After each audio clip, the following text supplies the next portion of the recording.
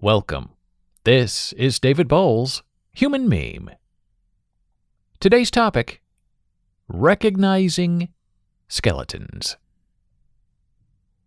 I read an interesting article the other day that suggested we, as people, recognize things, identify things by their inner structure, their skeletons. And these skeletons are more than just a face.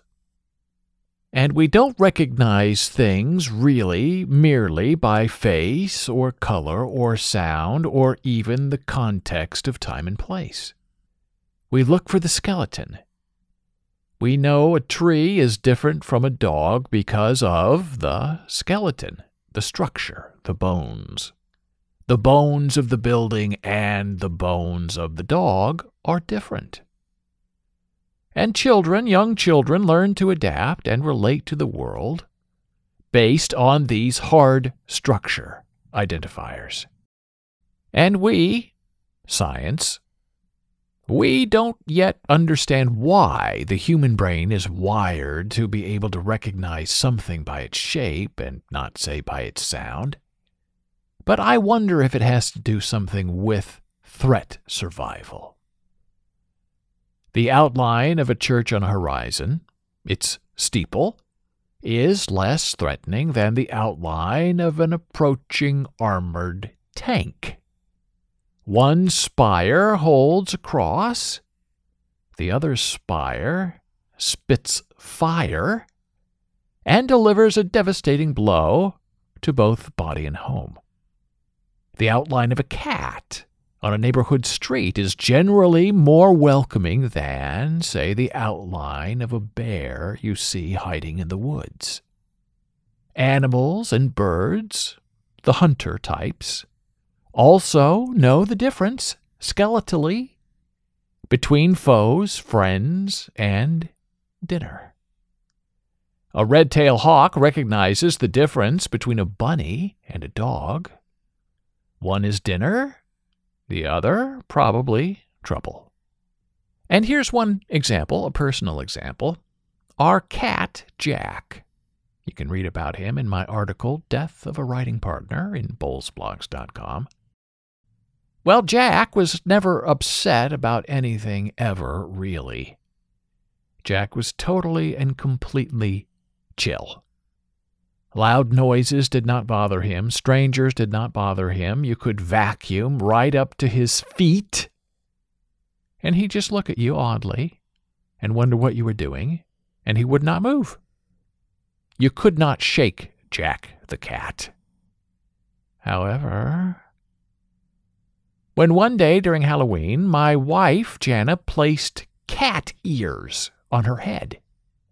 It was a simple hairband with two triangles for ears on top of the band.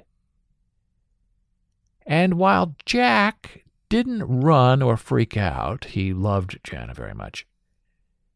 His stance clearly changed when she put on the cat ears. And he changed, we guess, because the outline,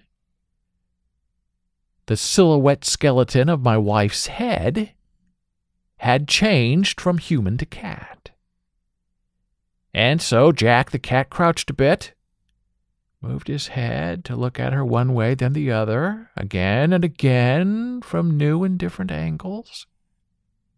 And when Jana removed the cat ears, because she could see he was getting a little upset, Jack immediately went right back to his normal nonchalant stance. Oh, it's you, it's Jana. Okay, never mind. However, to continue the test, she put the ears right back on, and Jack again changed, went right into his new suspicion mode, and kept his eye on her. Ears off? Jack's fine. Ears right back on? He's in a defensive, wary stance. And in this scientific study, it even worked with me. And Jack never gave me the time of day because he loved Jana very deeply. And he tolerated me but only in her absence. So, Jack knew me without the ears, ignored me. I put on the cat ears, and suddenly I was interesting. he looked at me. I guess because I became a stranger. And I liked wearing those cat ears around Jack because suddenly Jack cared about me. Well, maybe not cared, but at least he was paying attention to me. So we, as these strange humans, immediately can recognize a car from a bus, from a motorcycle, from a bicycle, based on the skeleton structure of what we know and what we are seeing. Sure, there's still some primordial danger there in these transportation vehicles, but probably not as much danger as those skeleton structures that are a direct threat to life. And in this application of the skeleton danger ideal that I am proposing to you today, a pillow is not a couch, a chair is not a rug. And we know that identification by separating and grading the skeleton works. It happens normally, all day, transversely, and transparently.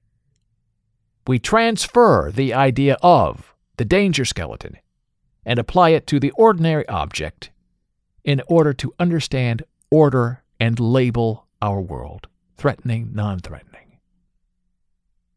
And we also recognize words by their skeleton structure. We learn to read and become literate because of the shape of the words, not the words themselves. And a lot of children are taught to sound out a word, but what they're really doing is not just sounding out a word, they are memorizing the shape of the word on the page. And that is why it's hard for people to read all caps when you type all caps in email. And it's hard to read because all the words run together as giant chunks of unreadable text. And whether you realize it or not, your eye has to slow down to decode each word by looking at each individual letter to help you form the concept of the entire word. So, all caps have no upper and lower letters to help you recognize the word based on its shape to the eye. Mixed case printing exists for a reason readability and comprehension. And all readers need that identifiable distinction between words by visually identifying their structure, their unique word skeleton. For instance, puppy, P U P P Y, in all caps is one big blob of a word. But puppy, all in lowercase print, has four visual identifiers that drop below the median line. You have three P's and one Y. The leftover U is the standard weighted character that gives the other letters full of definition by association and grouping. And to take this to the next level, in American Sign Language, when you fingerspell the word puppy, you downward emphasize the three P letters and the Y as you fingerspell. So you are creating a visual bouncing, unique image of the word you are fingerspelling. And so puppy, P U P P Y, becomes visually distinct from the word dog, D O G, or cat, C A T, or kitten, K I T T E N. And so, my human meme friend, we know by seeing and we learn by visualizing and then making logical jumps into something being something we have previously recognized. And that is how scammers and con artists find us and exploit us. They use a familiar skeleton we trust, and then they twist it to take advantage of you. Just like the gift of the Trojan horse. What you see may not be what you know. And that is the real danger in recognizing a skeleton structure. You may recognize it, but you may not know what really hides within. And with that said, we cannot help but wonder how those born blind at birth find their way safely in the world. Safely without the benefit of a recognizable skeleton structure to help form their comprehension. Is their danger skeleton structure more audible than visual? And if there is a correlation, what makes one sound more dangerous than another? Other than, of course, sirens and alarms and other intingers of danger. A barking dog must be more dangerous to the blind than, say, a purring cat, right? Well, one wonders without knowing. And that, my human meme friend, is what leads us into the wonderment of this human life. We need to know. But we can only know what belongs to us, or what is given to us, or what is taught to us. There is no skeletal dictionary available to us for discovery.